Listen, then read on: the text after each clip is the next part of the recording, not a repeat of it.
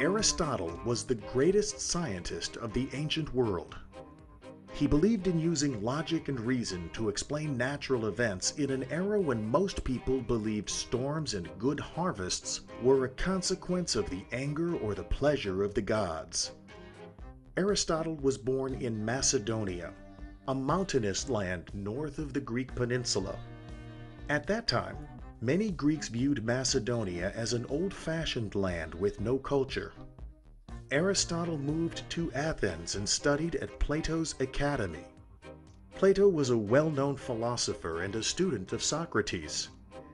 Aristotle remained at the school for more than 20 years until shortly after Plato died. Aristotle then returned to Macedonia, where King Philip hired him to prepare his 13-year-old son, Alexander, for a future role as a military leader. His student would one day be known as Alexander the Great, one of the greatest military conquerors of all time.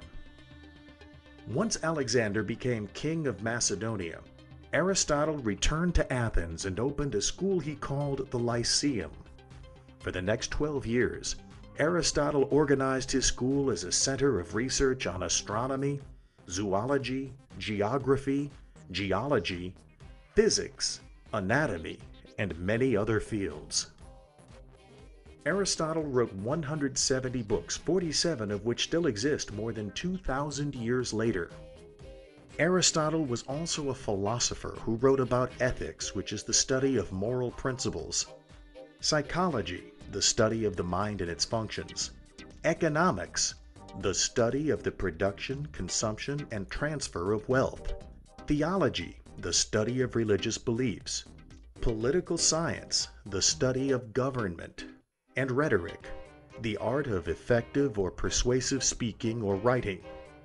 Later inventions such as the telescope and the microscope would prove many of Aristotle's theories to be incorrect, but his ideas formed the basis of modern science.